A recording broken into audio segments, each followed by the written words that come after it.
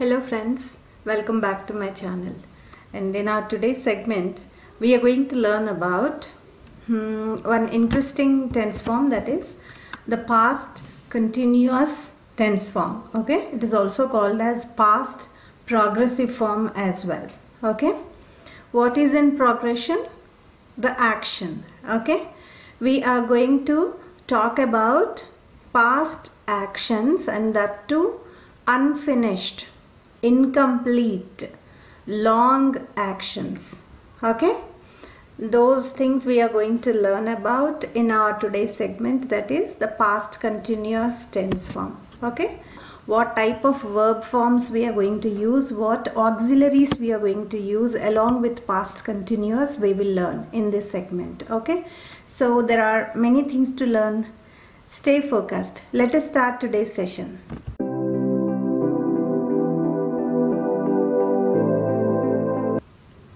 this is our topic of the day the past continuous tense okay? The past continuous tense is used to mention an ongoing action in the past. Ongoing continuing action and when? In the past.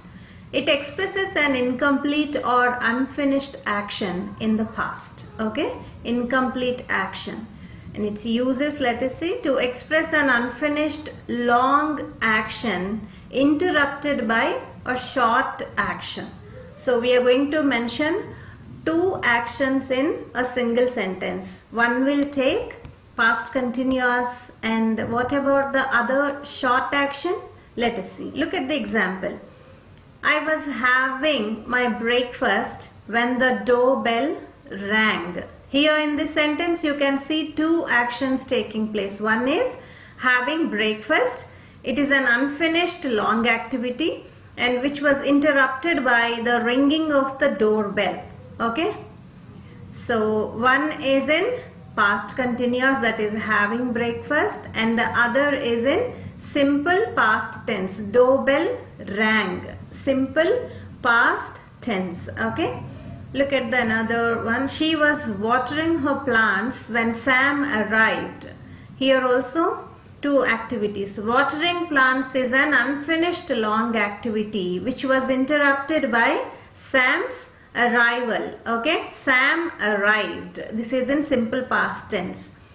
Whereas the long continuous action is mentioned in past continuous. She was watering her plants past continuous. Next use to describe the background of the story written in the past tense. Okay? This kind of tense form you can see in so many books. Okay? So look at the example. To describe the background setting of the story we call it. Okay? Look at the example. The sun was rising from the sea. Birds were chirping People were jogging in the beach. Entire city was waking up lazily. Wow, what a beautiful scene. Then there was a sudden explosive noise. Oh my god, what is this? Not a bomb, but my alarm clock. Hmm, sweet dream was interrupted by alarm clock. Oh my god, this is such a mess, isn't it?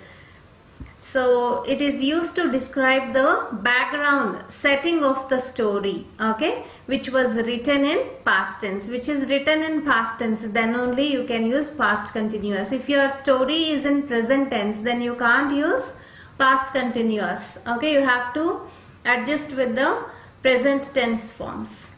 Am I clear on that? To describe the background of the story written in the past tense, that is important. Next use to express a change of mind. For example, I was going out to watch movies but I have decided to finish my project work first because I have to submit it tomorrow. Whatever might be the reasons, okay, past continuous tense is expressed to show a change of mind. First I have decided to watch movies and then I have decided to finish my project. Switch of the mind, okay, change in the mind.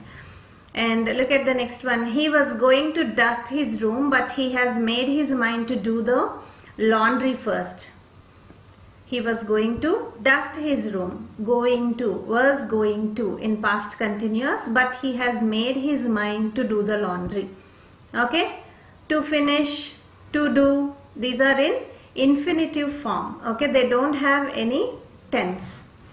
We are concerned only with was going out, was going to. That's it. Okay. They are mentioned in past continuous. It is used to express a change of mind. Next one is to mention an action which happened repeatedly in the past. Which happened repeatedly and when? In the past. Look at the example. God, they were always quarreling with each other. They used to do it on a regular basis, repeatedly. Okay?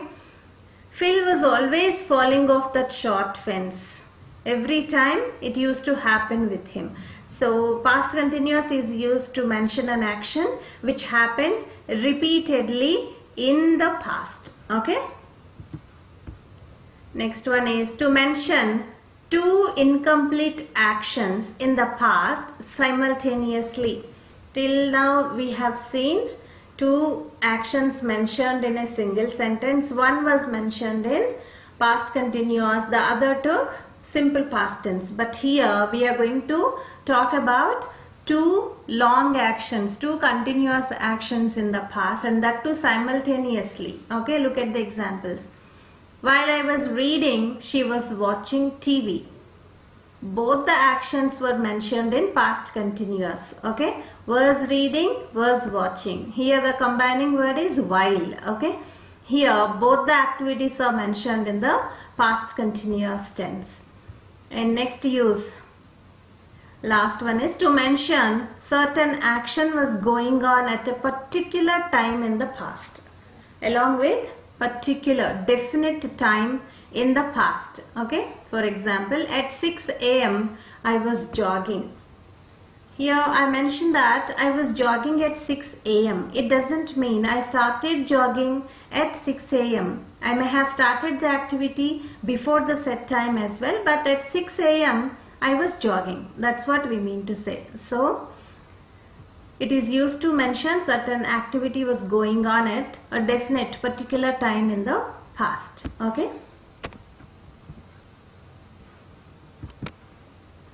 Now, if you look at the formation of the past continuous tense, its main verb is V1 plus ing. We call them present participles. Okay. V1 plus ing.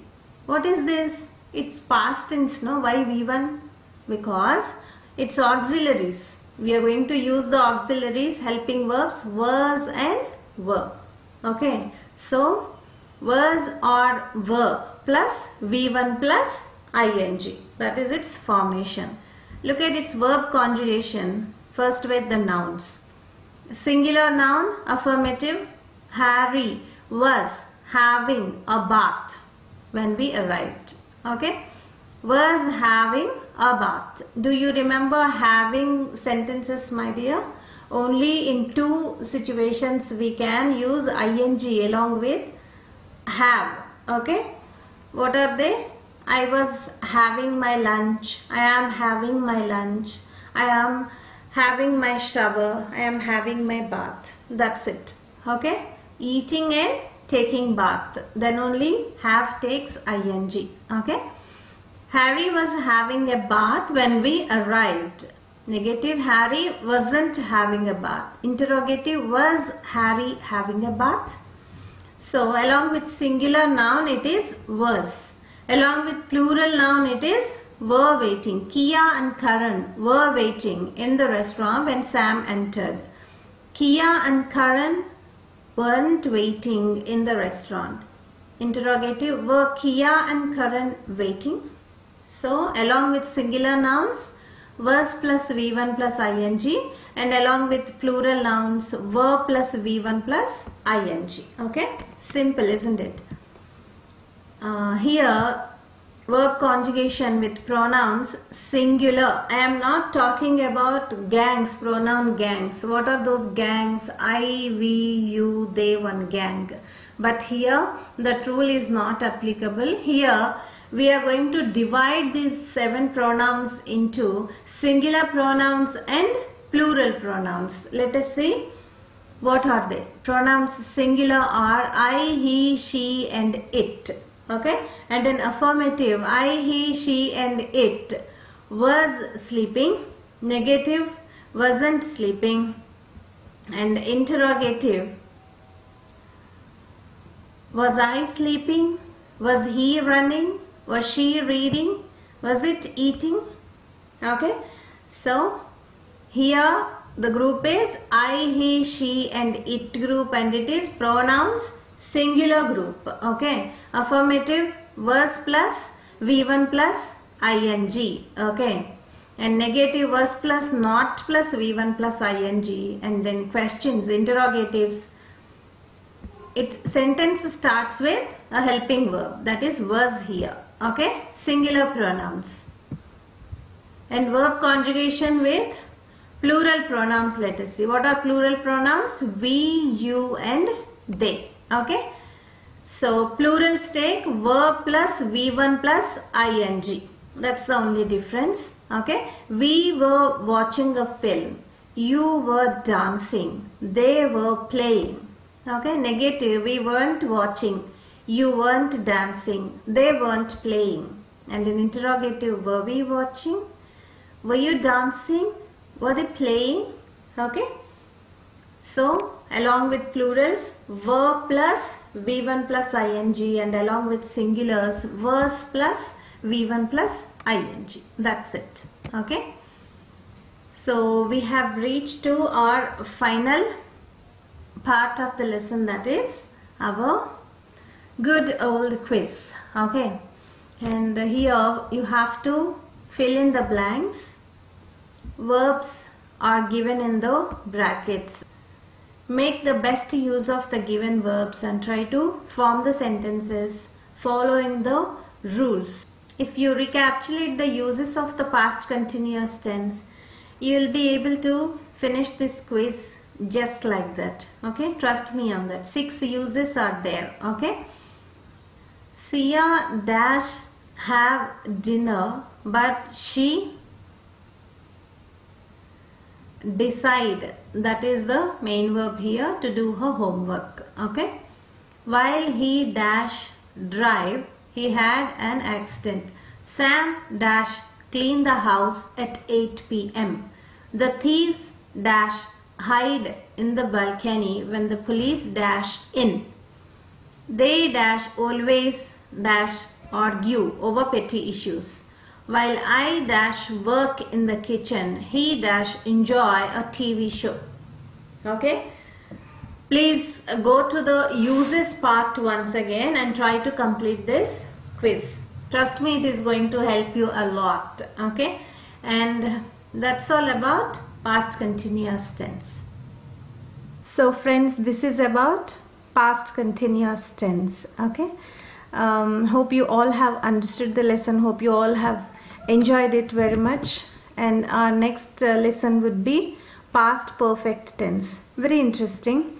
And um, thank you so much for your immense support. Please like and share my videos to all of your acquaintances okay? Please don't forget to subscribe to my channel. And meet you soon with my next lesson. Bye bye